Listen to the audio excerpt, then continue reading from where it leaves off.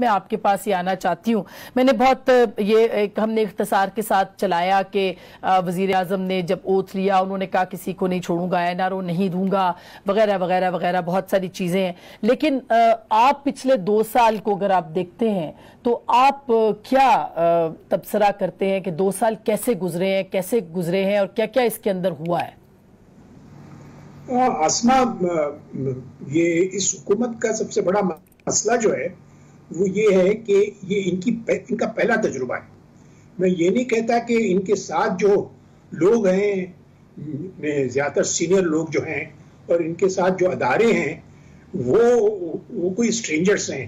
लेकिन खुद इमरान खान साहब जो हैं, तकरीबन स्ट्रेंजर है। अभी पिछले दिन उन्होंने कहा था कि मुझे नहीं पता था कि रेड टेप जो है, उससे इतने मसाइल खड़े हो जाते हैं। और मैं आहिस्ता आहिस्ता इनको खत्म करने की कोशिश कर रहा हूँ।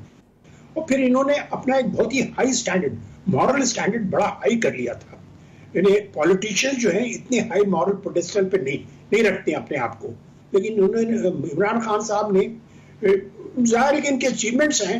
वर्ल्ड कप भी सेफ़ नहीं है बल्कि कैंसर अस्पताल है फिर यूनिवर्सिटी है। हम्म। और as as a social worker इनका बहुत बड़ा काम है और रिकॉग्नाइज्ड है ये यूनिवर्सली हम्म। तो इनकी खुद की एक अप्रोच है तो उन्होंने अपना एक स्टैंडर्ड बड़ा हाई कर लिया था। ये रिफॉर्मर का स्टैंडर्ड होता है ये पॉलिटिशियन का नहीं होता है। हम्म। तो यहाँ पर इनके इन्हें लेना पड़े जो यू टर्न्स जिसकी वजह से काफ़ी लोगों को अंदाज़ा शायद उन्होंने लोगों ने सोचा कि हुकूमत फेल हो रही है। मैंने ये अभी ये बात कहना कि अभी हुकूमत फेल हो गई है।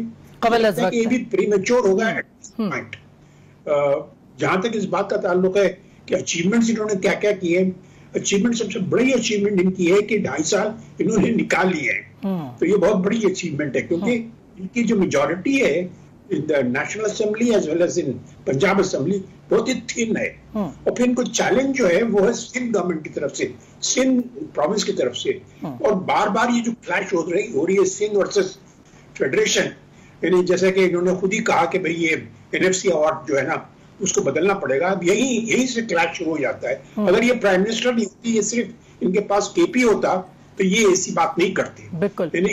अवार्ड जो है जो मैंने एज ऑफ़ टुडे मुझे लगता है कि ये बहुत ही रिजनेबल रैशनल मैंने अलोकेशन ऑफ़ रिसोर्सेस हुई है। जी। अच्छा जनरल साहब आपकी तरफ़ आऊँ। ये वाहिद वो हुकूमत